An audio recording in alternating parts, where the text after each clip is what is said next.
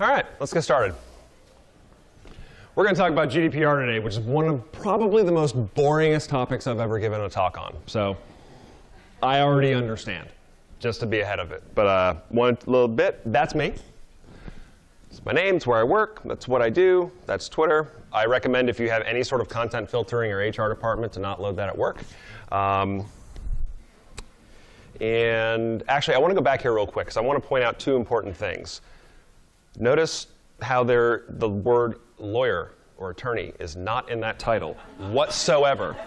I'd also like to point out the lack of letters after my name indicating that I have a professional degree indicating I know the law. I am in no way, shape, or form an attorney, a lawyer. I did not go to school for this. I'm a nerd.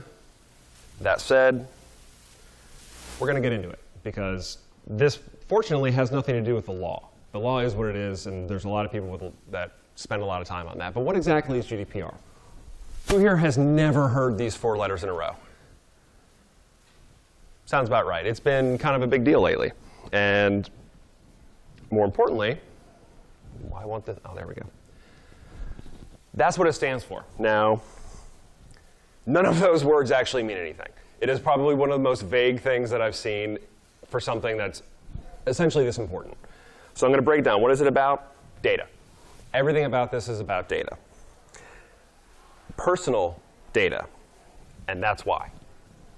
Our data is worth a lot of money. A lot of money. And for years, we've just kind of given it away. All these companies essentially said, trust us. And we did.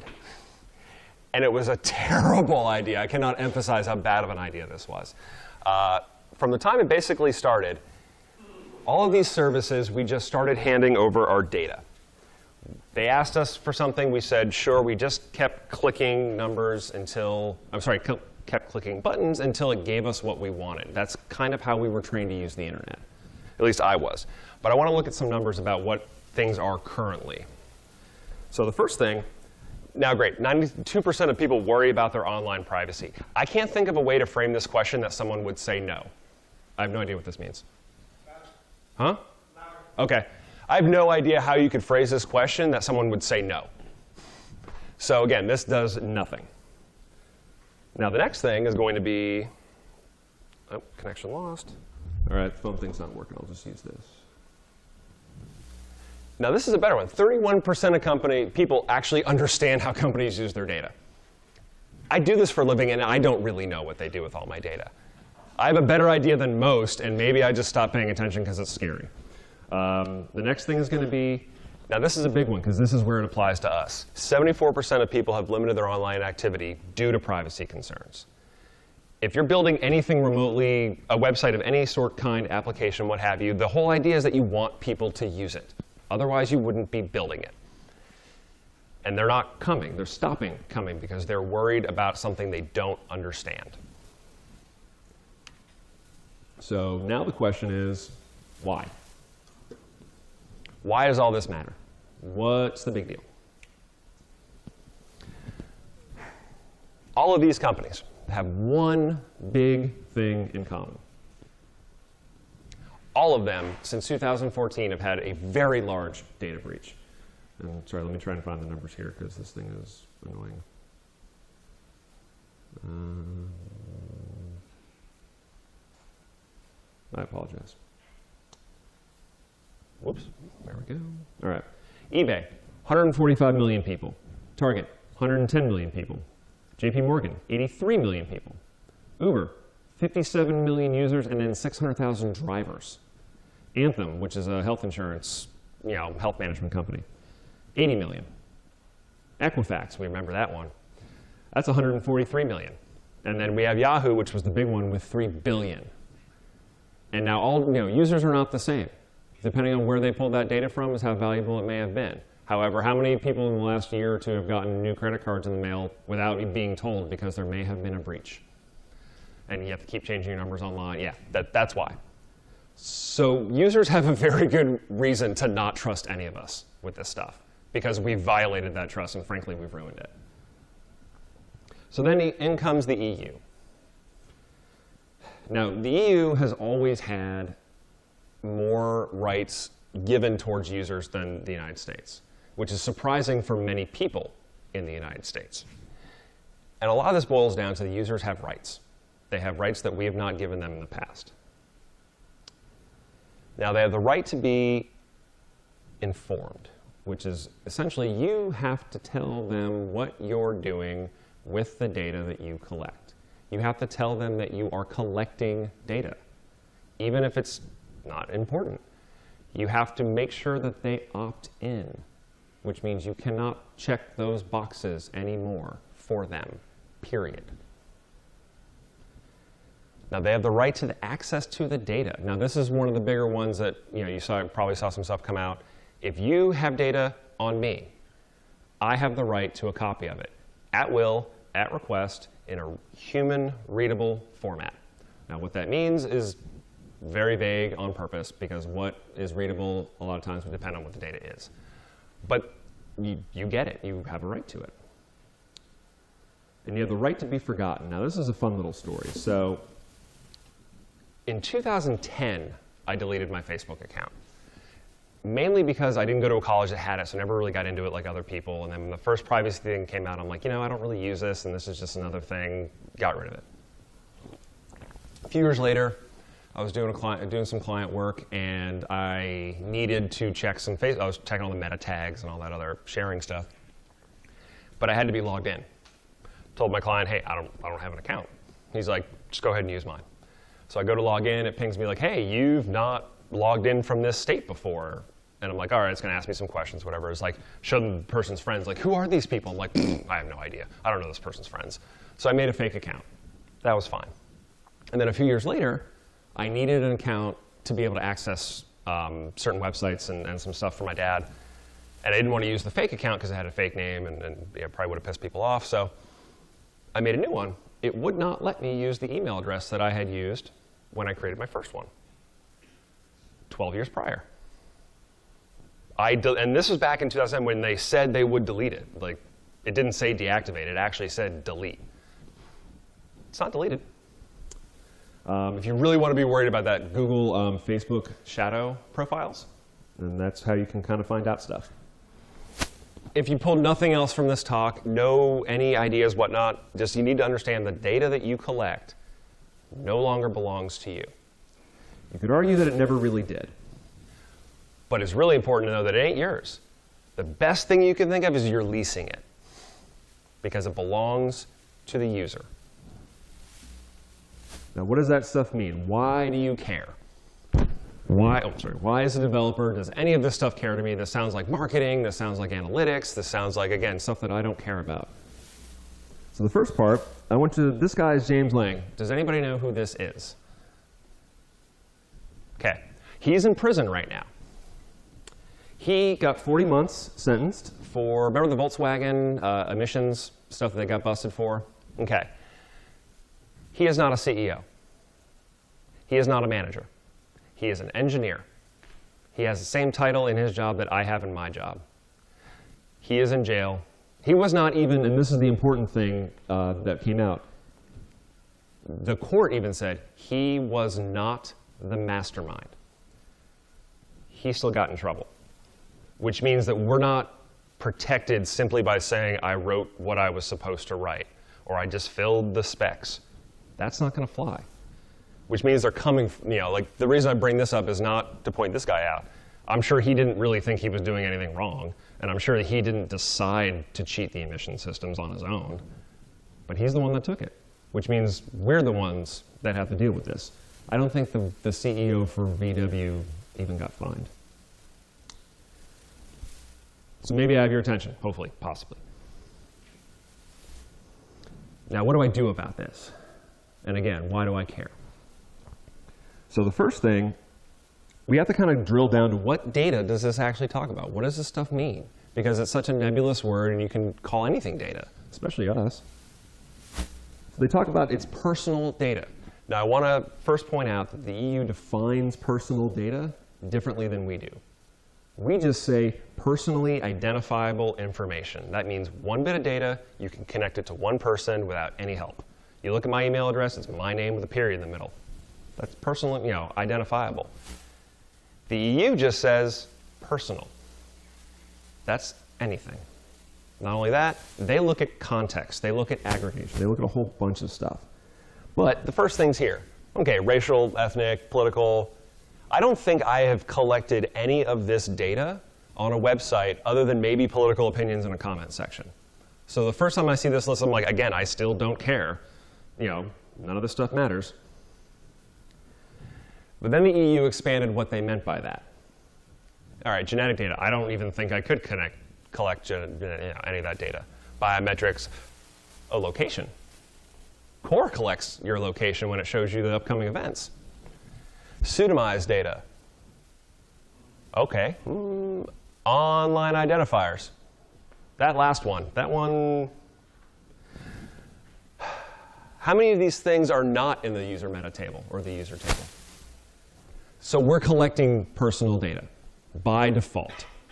And that's, it's not that you can't collect it and it's not that you can't have it. It's just we can't just grab it, is really what it boils down to. So this applies to everyone. And now this is a caveat, and I will get into this in more detail, who does business with the EU and what exactly defines doing business. That does not mean doing business with the European Union as a governing body. That means anybody who lives, is a resident of, is vacationing in, is vacationing from the EU. So the question, the first question I always get with this is, can I just stop selling to people in the EU? Probably not, because you can't automatically identify them. Like, is anybody here a resident, like a citizen of a country in the EU? Okay, when I was in Orange County, that there we go. If you buy something in Michigan from a company in Idaho, GDPR applies because he is a you know he is a citizen of the EU, whatever country in the EU, obviously. So it applies to everybody, every business, every organization. There's not a cutoff limit. It's like, oh, you have more than X dollars or X numbers, then it applies. No, everybody, blanket. Now, does that mean they're going to treat everybody the same? Of course not. But we don't know how they're going to be. Now, this is a big thing. You know, who's in charge of all this stuff? Who is supposed to be doing this work? Who monitors? Who does all of this? They have no idea. But there's two people that are involved. And the way they define it is data controllers and data processors. Now, the controllers, again, more vague words that don't mean anything. You know, a controller decides what to take in, where it's used, where it's stored, and who else gets it. So think of that as a gatekeeper. Think about that, frankly, most of the time, as us. When you're collecting that data on the website, you are a data controller. Now, data processor is basically anybody else who touches that data. Google Analytics, uh, abandoned cart software, anything, you know, recurring user, anything that you might be doing with that that you're handing as SaaS, something like that. And you're like, which one am I? Very possibly both. You can be both. So you have to start thinking about privacy by design. It's not something you add in later. It's not something you sort of bolt on. It's like you need to start building things with the idea of keeping user privacy first. And that trumps pretty much, I hate that word, but that trumps pretty much every other goal now in terms of data. Now, it's not visual design, but actual data. Privacy first. So you need to know everything, which sounds like a lot. But we're building it which means you need to know what you're collecting. You need to know where it's going. You need to be able to articulate to someone what you're doing with it. An easy way to think about this, and especially who you're giving it to, because that's on, you know, that becomes your problem sort of as well. You know, if you're thinking about using a data analytics program or anything like that, like if they can't explain how they do it in like two or three sentences, it's probably illegal. For the most part. Now, everything, again, it sounds like so much work, and it's like, great, now I have another thing I have to care about. But it's not really that bad. You start with something called a privacy impact statement. Um, Heather Burns is a, um, a policy, legal policy expert over in, uh, over in England. She's been doing a whole bunch on this. She spoke at WordCamp EU about it.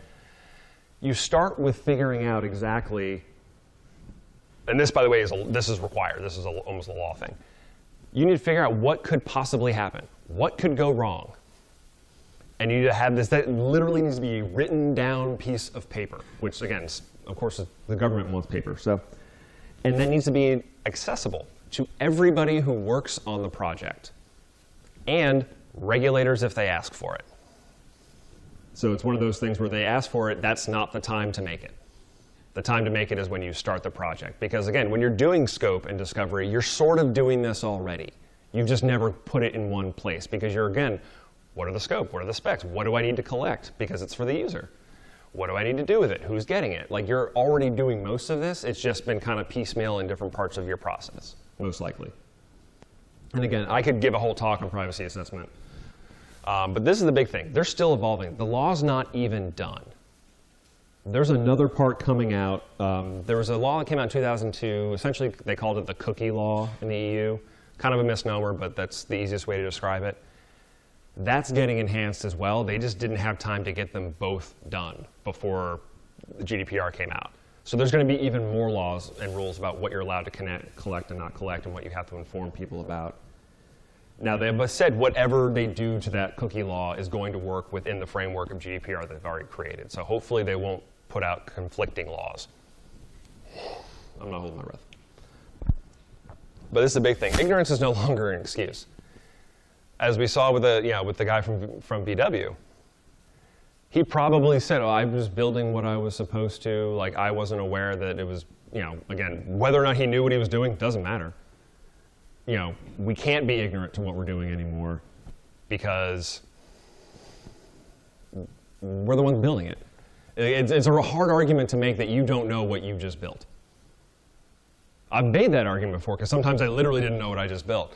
But almost every single time, I know exactly what I did. Maybe I wasn't aware of it, maybe I didn't think much of it, because again, when I was building websites, especially when I started doing this 10, 12 years ago, I didn't think care about any of this stuff. I barely knew what I was doing. So I'm sure there was stuff going on that was probably not good for a whole slew of reasons. Um, and what I want to get into, we're going to do a lot of questions because I know there's going to be a bunch, um, is this isn't hard. And more importantly, for us to think, you know, th- these laws are coming to the US. California is probably going to enact this soon. I imagine other states, probably like New York, Delaware, and other ones, are going to also enact this. This is essentially going to be the law of the internet, I would say soon. I don't know how soon, but soon. This isn't like VAT that we can just ignore it. Because I remember when VAT came out, everyone was super concerned about it and like, oh, we have to pay all these taxes to these weird companies. Never done that before in my life. And I don't think anyone else, ever since VAT happened, I have not heard another person talk about it. This is different. Like, this is people, because people get upset. You know, whereas VAT was like accountants and nobody really cared. Um, now, again, is there any question other than how can I avoid doing this? Because I, I, in Orange County, I had four questions about how can I just avoid this? And the answer was you can't. So that question I'm just going to answer right away. You can't. So the, Um, the data controller, I, when I set these up, I, I got uh, someone from the company to agree to say they were the data controller. That's like on the privacy page. okay. Um, but I really do all those tasks that are assigned to data controller. Who's more responsible? And again, some of this is difficult to answer because they haven't enforced it yet.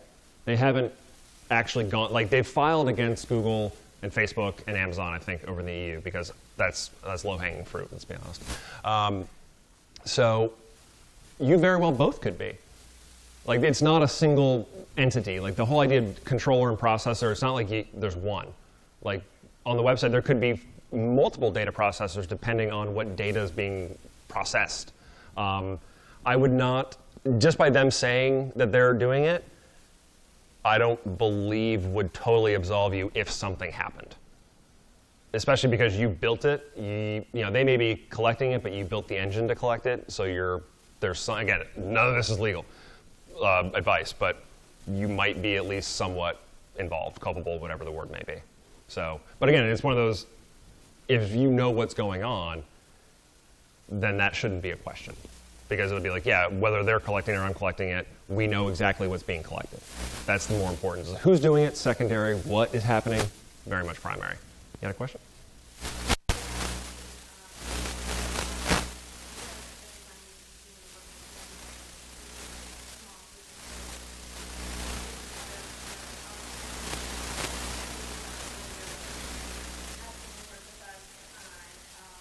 breaking up our privacy policies, or would it, because each site is different, be better to suggest to the client that they go to their company lawyer, make sure that they're covered for what we're providing them, you know, like how could that be approached? Sure. Yeah, she was asking about as an agency, what is your role in um, drafting privacy policies and, and things of that nature for individual clients? Once it le- you know, if you're not managing the site, because like there's plenty of stuff that I've built and I've never looked at again, and there are sites that I've still had my eye on or, or helped work on for years. So those are two very different things. Um, as terms of the privacy policy, in terms of use, that would be on the individual site owner only because their privacy and their terms are going to be based on whatever it is they're doing as a business. Um, there's boilerplate language. I think Core now actually, when you spin up a new site, it gives you a privacy policy page as a draft. So if you spin up a new, sorry? Um, if you spin up a new uh, WordPress site with 496 or above, it will create a privacy policy draft page as a draft. Like you know, it makes sample page and like hello world. Well, now there's hello world sample page and privacy policy. And the private, it's a you know boilerplate language. There's a link in there to help write one. Um, I know, and that's gonna they're gonna put more stuff in there. Like they were getting that out before the May deadline for GDPR. So yeah, the terms of su- uh, terms of use, privacy policy, that's going to be a lot of stuff based on what the individual company is doing. You can definitely try to give them guidance. I would not veer into the I'm giving you legal, um, and because the onus is going to be on them, I'm not sure your attorney would be money well spent for them, unless you're going to just bill that forward to them. Uh, but yeah, it's it's one of those things. You know, as you're building it, make note of everything that you're doing, and that way, because what very well may happen is you give it to the company, the business, they're running it, and their lawyer's like, "Oh, we need a privacy impact statement." So even though you're not the one that has to handle the outcome of that privacy impact statement as the agency, you're probably the only one qualified to write it because they don't know. Like most of you know, all, when I ran an agency for a long time, almost none of my clients ever knew what we built. They just knew that it worked. And that's all they wanted. That's why they paid us. So, yeah, I would, I would definitely keep, you know, again, keep all the notes of stuff and just be ready to have it and hand it over and be like, hey, this is what we have. This is what I would give to your attorney or whomever else. Now, again, are they going to come after the person selling, you know, selling handmade soaps? I don't know. I don't think, I, don't believe that's going to be the initial round of stuff they're going to go after. Some of the stuff I have a sneaking suspicion is going to be if somebody complains and someone could complain about their, G, you know, their GDPR rights on a site that sells handmade soap, just the same way that they could do it on Amazon. So the potential is there regardless of the size of your site. So like obscure, being small and obscure isn't necessarily going to protect you.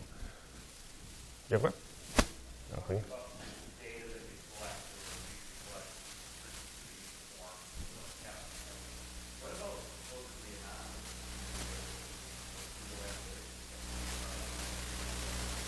That's not anonymous. Your IP address tells me where you are. Now, I know that, and Google Analytics is a good example because Google, being that they pissed off the EU for about 15, since the EU started, um, they've never gotten along. And they have pages upon pages about how they're implementing GDPR and what you're supposed to do on your site to, you know, essentially, when you went to the WordCamp Grand Rapids site, remember the little cookie thing you got in the bottom? That's GDPR. That's just the site informing you that they're collecting some data about you. It's again, this isn't a huge idea. It's it gets more complicated depending on what you're collecting, but it, other than that, and the analytics like that's a weird thing because they're at that point they're you know you're the controller, they're the processor. You're giving them this information by putting analytics on your site. You are allowing Google to collect information, which means if they collect something they're not supposed to, that's still on you because you gave them the space. So you can't just throw the biggest. I think the biggest thing that's going to get taken down first are those shady ad networks. The ones that just inject stuff into people, like those are going to get hit first, because they're the ones that are collecting user data without the site's permission or the user's permission. That's the like Google is not going to intentionally break the law. you know, Bright Haven Advertising very well may. I don't know if that's a real company. I apologize if it is. Um, actually, you had a question, then I'll come to you. Yep.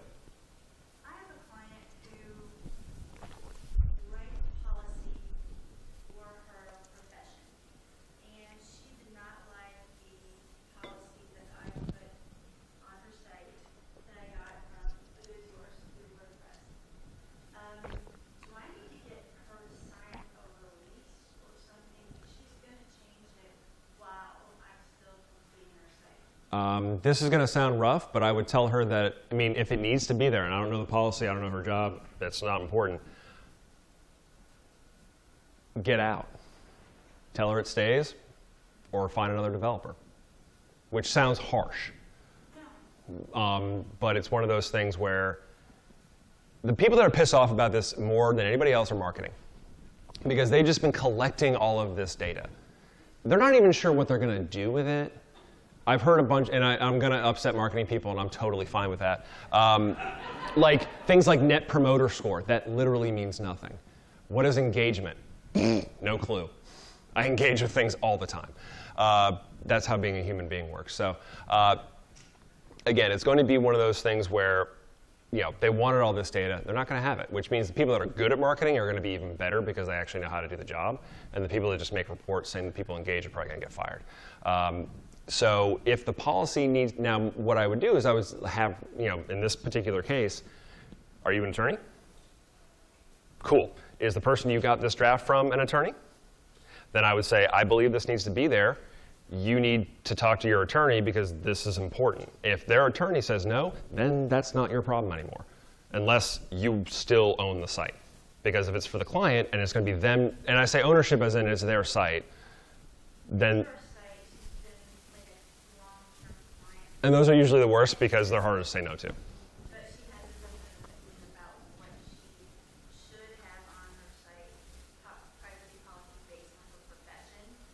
Yeah, and some of this, again, like some of the stuff may be off, so.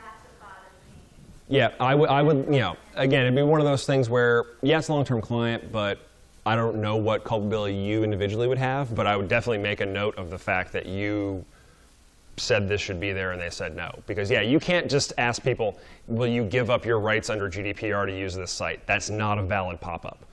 You can't, people can't opt out of GDPR. You can't just ask them, hey, do you care? Yes or no? No? Cool, we'll keep going our thing. Um, yeah, you can't just disregard it. So, again, without knowing the profession, yeah, there's probably a lot of nuances to this particular question. So I would I would suggest at least be like, hey, I think this should be there. You need to talk to your attorney, but document that, save that email, whatever it is. You know, make sure it's in writing that you felt it needed to be there, just to protect yourself. And then actually, I'm going to ask him, and then I'll come to you. keep going with what she's asking, open it up. You know, WordPress specific resources for addressing issues with our clients or analyzing, giving the, the client, give, being able to give the client a snapshot of data being collected, those kinds of things. To, are there tools that have been built for WordPress that you would recommend us looking at? There are some, and I know that there's a lot more being built. I've built some stuff. Uh, what you're going to want to start with is do a site audit. And again, when I ran an agency, one of, if we took on a client that already had an existing web property that we had to touch in any sort of way, part of the part of the contract, part of discovery and scope was doing a full site audit.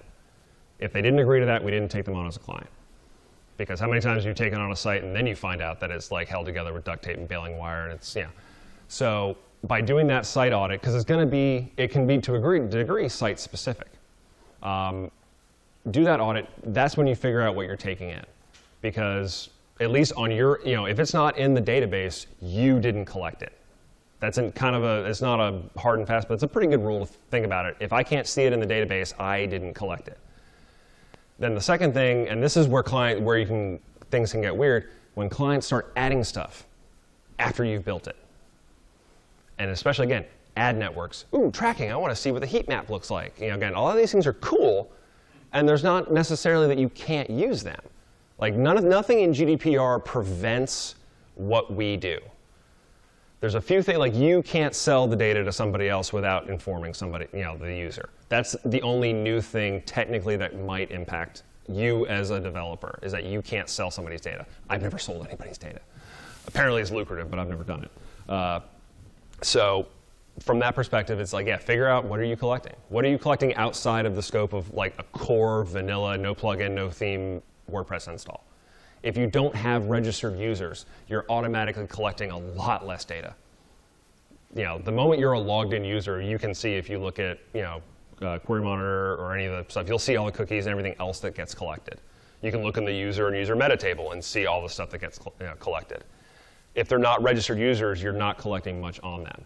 And then as part of that site audit, identify any third party that has something on your site even if it's not inherently collect, is, because again, those ad networks, so that's where they started getting in trouble, was they would show the ad, but they were scraping all this user data as people came, never telling anybody about it. That's not legal. Um, but you had a very particular question, yeah. Yeah, um, you know, we're supposed to have a way for people to say, get my information. hmm How do we do that without the third parties that could be involved?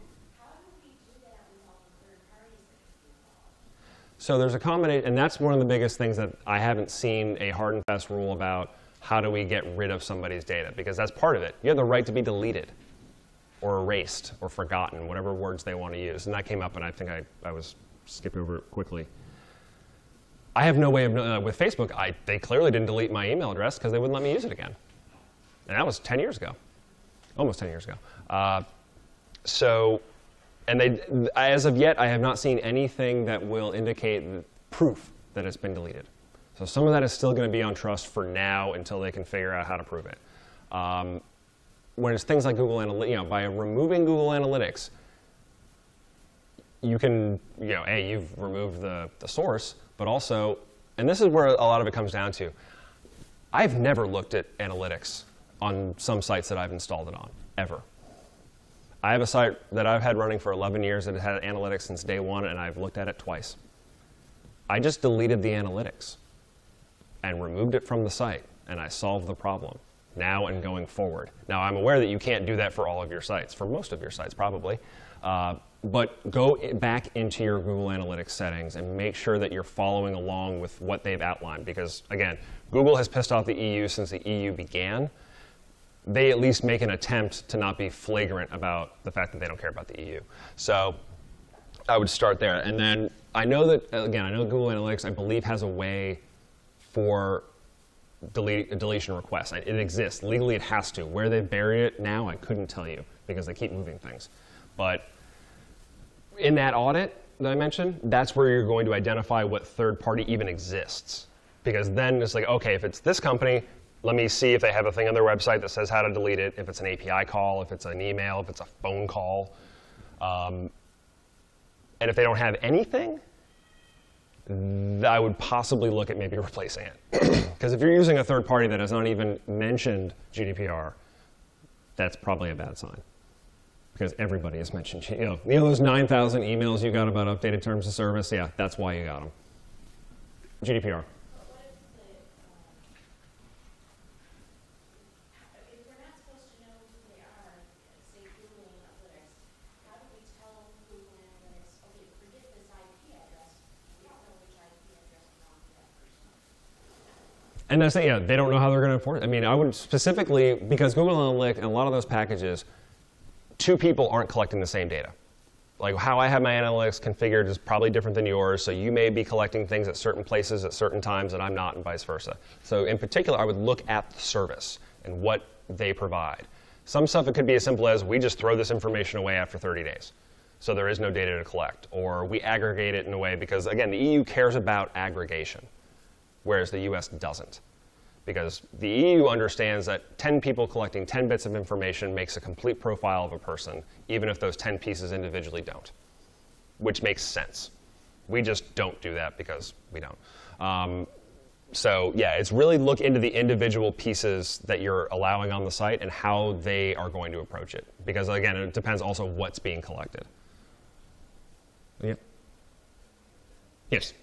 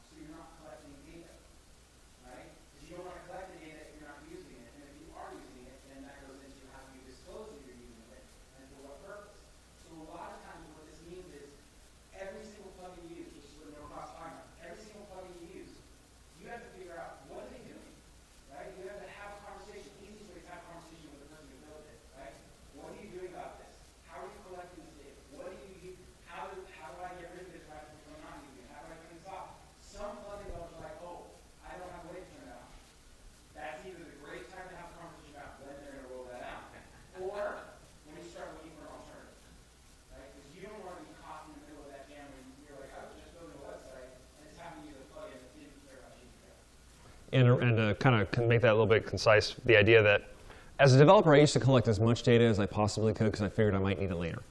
I didn't know if I was going to use it, but I figured the more I had, the better it would be so I could do something down the road and I would have a complete picture. That's not how to do it anymore. I only collect what I absolutely need and can justify having. Because if I can't justify having that data, I probably don't need it. Uh, I got time for one more question. He had his hand up first. I promise I'll answer yours later. Yeah. Okay, so if our, com- our company has hundreds of dropshippers. I'm sorry, uh, hundred- hundred of drop shippers. Okay. they dropship Yep. products from our company. They collect the data for everything. It gets uploaded into our ERP system.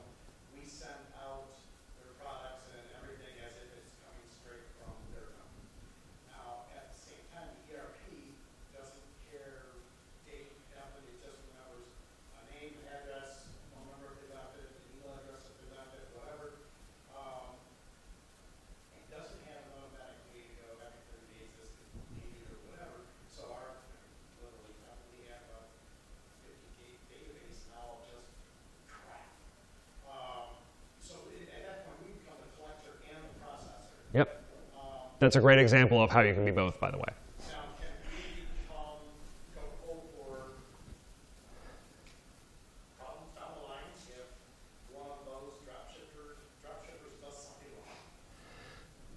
Maybe.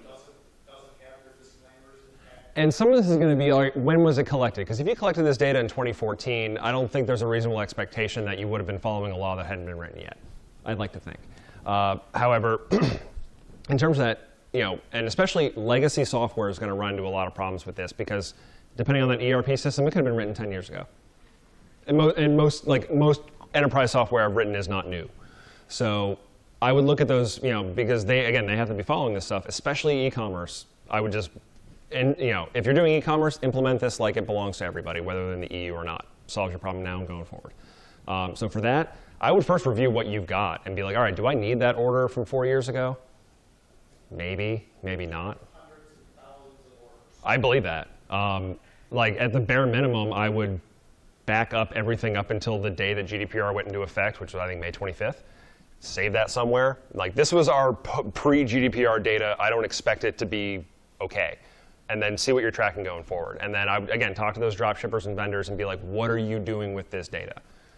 Because most of them are yeah, we have the address, we make the thing, we send it out. That's all we do. And most of them, that's pretty easy to follow because we have the stuff, you know. And then, do they have a way for you to say, "Hey, delete this person out of your system"? Most of them, maybe it's a manual thing right now until the software catches up. So if you don't see anything on a website or you don't see anybody helping, you can always be like, "What?" do You know, email or call. What are you doing about this? Because they very well could be like, "Hey, we have a plan. We're waiting for the nerds to finish writing the software." you know, that could be their answer, and that's a valid answer. Like we're trying to get the software to catch up to, you know, because because GDPR was two years in the in the works. We didn't start carrying until like a month before. America, baby. Um, yeah, so we, you know, it was like we had two years to catch up to this, and we were just like, whatever, um, Americans. So yeah, it's now something that like we had a lot of time to catch up and we didn't do it. Uh, so yeah, just kind of look at what you're doing, audit your stuff, figure out where it is, and then you know just be mindful of what you're doing. Because again, it's a lot of that's going to be good faith stuff. Where if you're like, oh, I didn't realize this was being collected, but I, you know, as opposed to, hey, I made a backdoor Trojan for all my users to you know scrape data. Like again, very different goals and outcomes, but GDPR applies to both. So thank you.